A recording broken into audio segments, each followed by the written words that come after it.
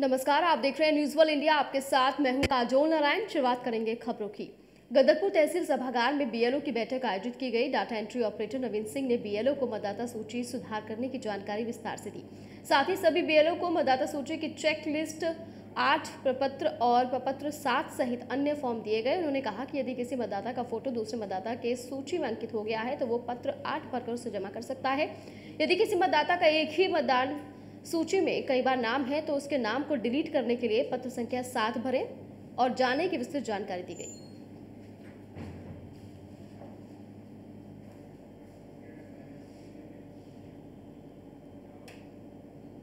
हिमालय की जिन पहाड़ी दरों के सामने नौजवानों के हौसले भी पस्त हो जाते हैं। उन्हें पार करने का प्रयास 50 साल से ज़्यादा उम्र की देश के विभिन्न राज्यों की 11 महिलाओं ने किया। 50 साल से ज़्यादा उम्र की 11 महिलाओं का एक समूह ट्रांस हिमालय अभियान और प्रधानमंत्री नरेंद्र मोदी के फिट इंडिया मूवमेंट के तहत पूरा करके शक्तिशाली हिमालय पर्वतमाला को पार करने के मिशन पर है, जिसे सबसे कठिन ट्रैकिंग अभियान में से एक माना जाता है।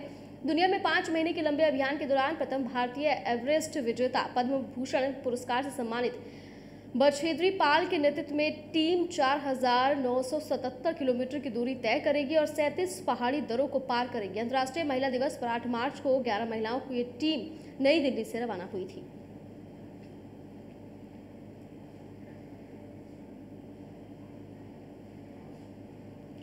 देवरिया के गौरी बाज़ार थाना क्षेत्र के अंतर्गत सुदामा चौराहा पर जल जमाव की समस्या दूर होने का नाम नहीं ले रही। वहीं आपको बता दें कि जल जमाव हो जाने की वजह से राहगीर काफ़ी परेशानियाँ उठा रहे हैं और पढ़ने जाने वाले बच्चों को बहुत मुश्किलें आ रही हैं। बच्चे अब इस रास्ते को छोड़ दूसरे रास्ते से पढ़ने जाने को मजबूर है। वहीं अब देखने वाली बात यह है कि समस्या का निदान होता है कि नहीं, क्योंकि जिम्मेदार मौन है।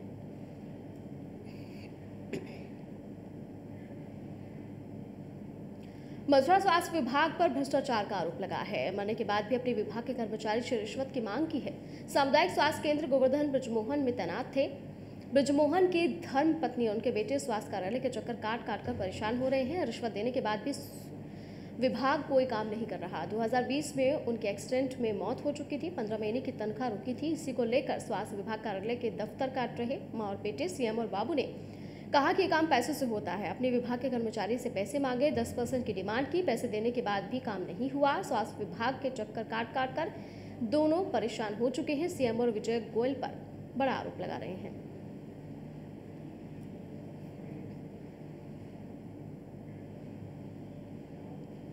हमीरपुर में जिला कारागार से पैरोल पर बाहर आए 25 बंदी और कैदी फरार हो गए। पुलिस घरों में भेज रही नोटिस, लेकिन नहीं मिल रहा कोई सुराग। फरार बंदी और कैदी ने रहने के ठिकाने बदल लिए हैं। कोरोना काल में छह माह के लिए पैरोल पर 25 कैदियों का ये मामला है। कोरोना काल के समय कुल छिहत्तर कैदी और बंदियों को पैरोल पर रिहा किया गया था। समय अवधि खत्म होने से पहले इक्यावन कैदी और बंदी लौट कर आ गए थे। अप्रैल 2020 में सैंतालीस छोड़े गए वापसी केवल पाँच की हुई है। मई 2021 में 27 छोड़ गए थे उनकी वापसी 20 हुई है। यानी कि जून 2021 में दो छोड़े गए लेकिन उनकी वापसी अब तक नहीं हो पाई है, जिसकी वजह से विभाग में हड़कंप भी मचा हुआ है।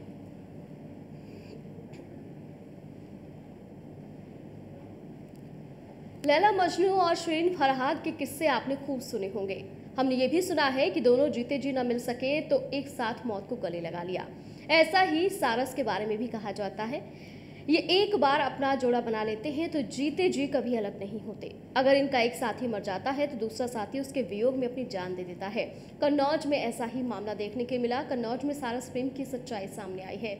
यहाँ एक सारस की बिजली के करंट से मौत हुई तो साथी सारस ने रो रो कर उसके पास ही अपनी जान दे दी।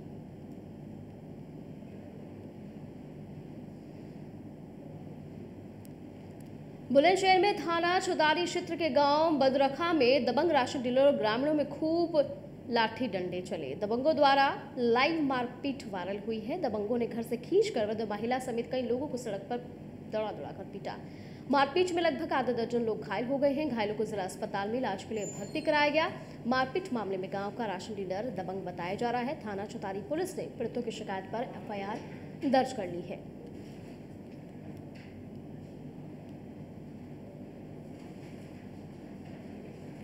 मुख्यमंत्री योगी आदित्यनाथ द्वारा नवनिर्मित अग्निशमन केंद्र का जनपद बुलंदशहर में लोकार्पण किया गया। ग्रामीण क्षेत्रों में होने वाली आगजनी की घटनाओं, अन्य प्राकृतिक आपदा, जिसमें फायर पुलिस की मदद की आवश्यकता है, उन्हें तत्काल मौके पर मदद उपलब्ध कराए जाने के लिए तहसील स्तर पर अग्निशमन केंद्रों का सरकार द्वारा तत्परता से निर्माण कराया जा रहा है।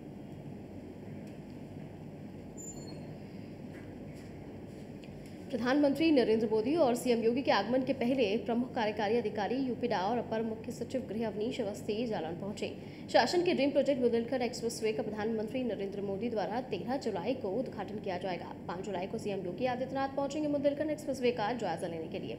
तो ऐसे में सुरक्षा व्यवस्था, पार्किंग और व्यवस्थाओं और भव्य कार्यक्रम को लेकर संबंधित अधिकारियों के साथ समीक्षा बैठक हुई है। पाँच जुलाई को सीएम योगी आदित्यनाथ बुंदेलखंड एक्सप्रेसवे का जायजा लेने के लिए पहुँचेंगे, इसी को लेकर यहाँ पर एक खास व्यवस्था की गई।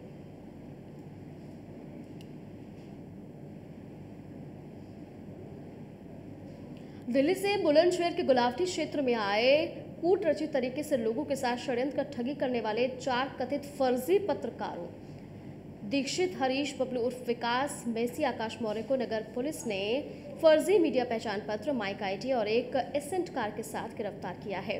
इस समय वो लोग अनाज मंडी में अपने आप को किसी बड़े निजी चैनल का पत्रकार साबित कर आमजन को गुमराह कर रहे थे।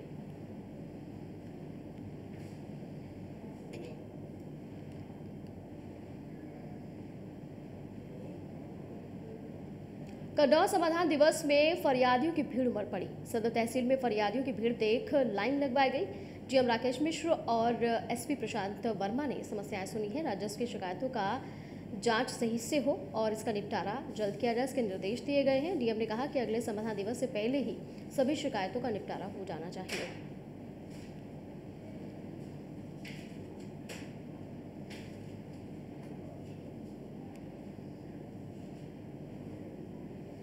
फिरोजाबाद के शिकोहाबाद में शुक्रवार को नेशनल हाईवे पर एटा चौराहे और प्रतापपुर चौराहे के बीच ओवरब्रिज पर अज्ञात वाहन के रोड़ने से तीन बाइक सवार युवकों की मौत हो गई। युवकों की मौत से परिवार में कोहराम बच गया। हादसे की सूचना पर पहुँची पुलिस ने शवों को कब्जे लेकर पोस्टमार्टम के लिए भेजा है।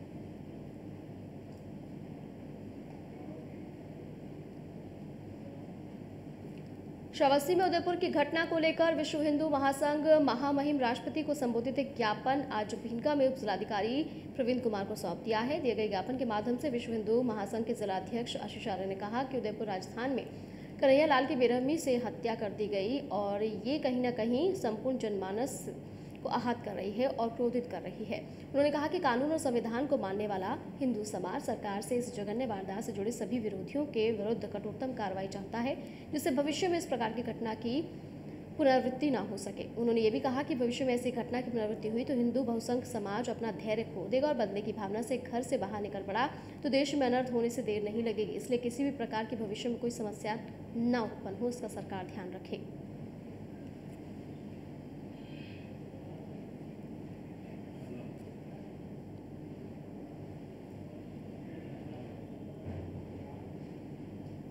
देवरिया के समाजवादी पार्टी के वरिष्ठ नेता विजय प्रताप मणि उर्फ़ डब्लू ने अपने सिरजम में स्थित सपा कार्यालय पर उत्तर प्रदेश के पूर्व मुख्यमंत्री अखिलेश यादव का जन्मदिवस धूमधाम के साथ मनाया। वहीं उनके जन्मदिन के मौके पर नौजवानों के साथ डब्लू मणि त्रिपाठी ने यह प्रण लिया कि 2024 में हम लोग अपने आप को बहुत मज़बूत करेंगे। वहीं त्रिपाठी ने कहा कि कई अहम मुद्दों पर भाजपा सरकार पर हम हमला बोल रहे हैं, क्योंकि भाजपा सरकार लगातार अराजकता फैला रही है।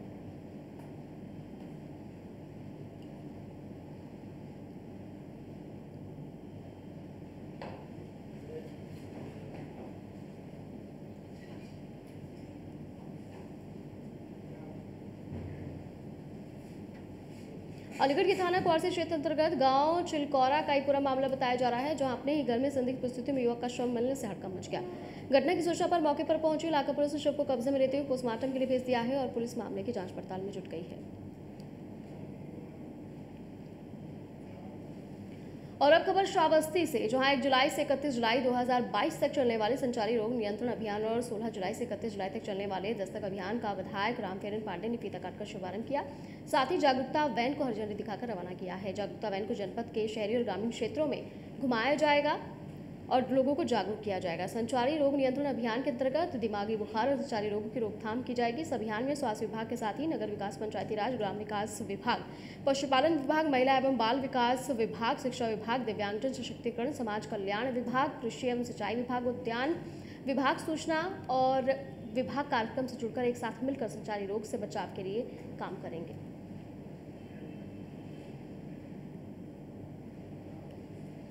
शनिवार को यानी कि आज चार साल एक महीने एक दिन बाद शाहजहांपुर पीलीभीत रेल पथ के लिए इतिहास बन गया है।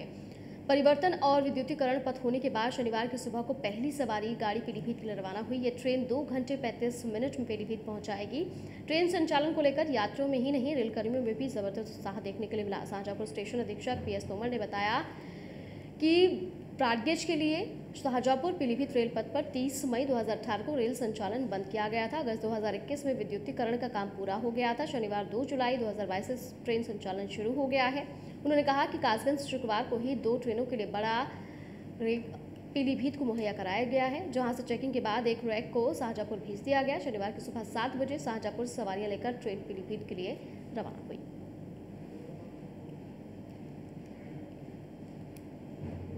और इसी के साथ फ़िलहाल खबरों में इतना ही। आप बने रहिए न्यूज़ फॉर इंडिया के साथ।